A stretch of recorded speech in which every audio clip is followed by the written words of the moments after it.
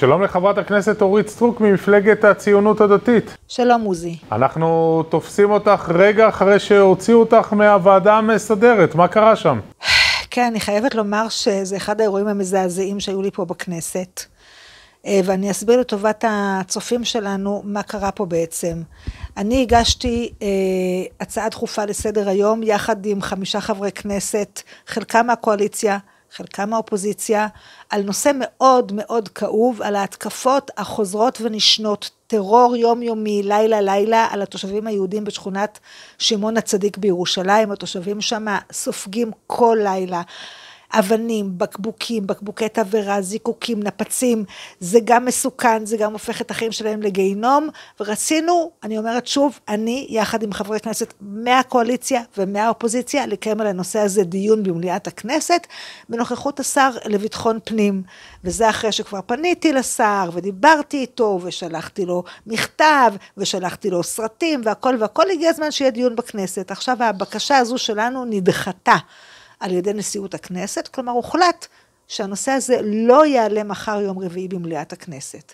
ולכן אני פעלתי בהתאם לתקנון, והגשתי ערעור על ההחלטה הזו של נשיאות הכנסת לוועדה המסדרת.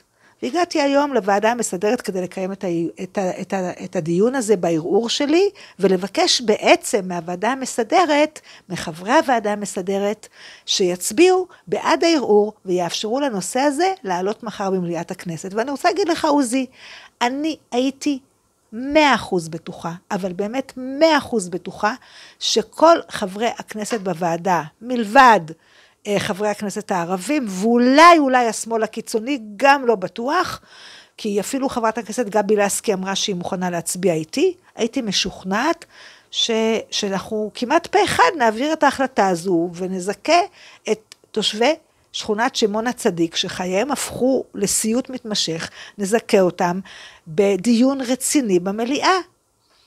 שוחחתי עם אה, מי שישב בראש הוועדה המסדרת, אה, חבר הכנסת ניר אורבך, הוא הבין לליבי, הוא הסכים לקדם את הדיון הזה לפני דיונים אחרים.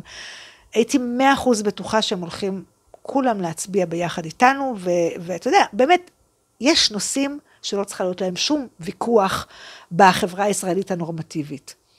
ולתדהמתי, ממש לתדהמתי, אני פתאום רואה שהקואליציה עושה גיוס, עושה גיוס כדי להצביע נגד. כדי להצביע נגד. והם מנסים להגיד לי שהם יסכימו להצביע בעד, אם אנחנו נסכים לכלול את הנושא של שמעון הצדיק בתוך איזשהו אה, דיל רחב על כל מיני חוקים שהם רוצים להעביר, להעביר והשגות שיש לנו, כאילו מכניסים את החיים של התושבים היהודים בשכונת שמעון הצדיק לתוך דילים פוליטיים. ואני אומרת להם, חברים, הרי זה לא יכול להיות. הרי זה לא יכול להיות, יושבות משפחות בתוך הבתים שלהם, רועדות מפחד, הילדים בוכים, הערבים זורקים עליהם בקבוקי תבערה, המשטרה לא פועלת כדי להפסיק את, ה, את, ה, את המתקפות האלה. הרי חברי בצלאל סמוטריץ' ואני היינו שם בסיור, וראינו איך זה קורה. שוחחנו עם השוטרים, השוטרים אמרו לנו, אנחנו, אנחנו, אה, בכלל, כל הניסיון שלנו זה לעשות שקט, והדרך הפשוטה ביותר לעשות שקט היא לדחוף את התושבים היהודים לתוך הבתים שלהם. אנחנו ראינו במו עינינו רימון הלם שהמשטרה זרקה לתוך החצר של היהודים, כדי שהיהודים לא יעזו לצאת מתוך הדירות שלהם לחצר. על דבר כזה, לא יכול להיות שלא יהיה קונסנזוס. למה הוועדה הזאת, אה, תסלחי לי, כמו גן חיות, צעקות, קללות? תראה, באופן כללי, הוועדה המסדרת היא זירת מאבק בין הקואליציה לאופוזיציה, משום שהקואליציה רוצה להעביר סדרה של, אה, של חוקים שאנחנו חושבים אותם, את חלקם לבלתי לגיטימיים, וכל החוקים האלה חייבים לעבור קודם כל בוועדה המסדרת, ואנחנו מייצרים את ההתנגדות שאנחנו אמורים לייצר, וככה זה בדרך כלל בפוליטיקה בין קואליציה לאופוזיציה, במיוחד כשאנחנו רואים בקואליציה, קואליציה מסוכנת. אנחנו רואים בממשלה הזו ממשלה שהיא לא ממשלה רעה, אלא היא ממשלה מסוכנת, משום שהיא אה, אה, אה, בעצם התמסרה, כן?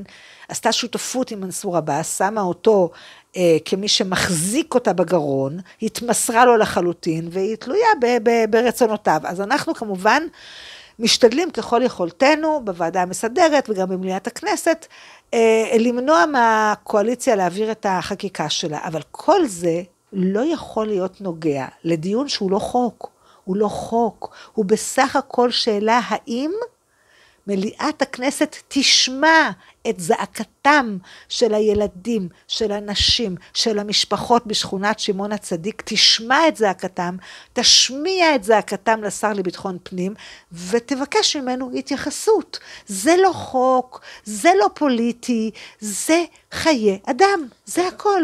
איך את רואה, אורית סטרוק, את המתקפה על יושבת ראש הקואליציה, חברת הכנסת עידית סילמן? תראה, יש...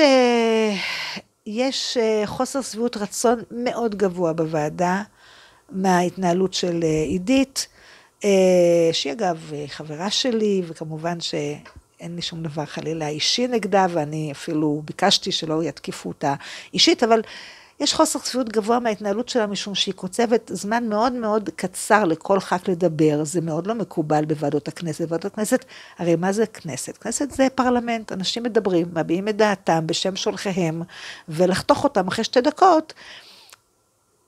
חברי הכנסת שהם ותיקים מאוד בבניין לא רגילים לסדרי דיון כאלה, וזה מאוד מפריע, וגם היו, היו כלפיה כל מיני טענות, אבל אני לא רוצה לחזור על טענות כלפיה. אני יכולה להגיד שיש מתח גדול בוועדה סביב ההתנהלות שלה, אני חושבת שהיא צריכה לשפר את ההתנהלות שלה, וגם אני חושבת שכשמותחים ביקורת על ההתנהלות שלה, אפשר למתוח אותה, את הביקורת הזו בצורה עניינית, ורוב חברי הכנסת מותחים את הביקורת בצורה עניינית. חברך לעשייה, אה, חבר הכנסת שמחה רוטמן, אמר שבנט לא ראש הממשלה שלו.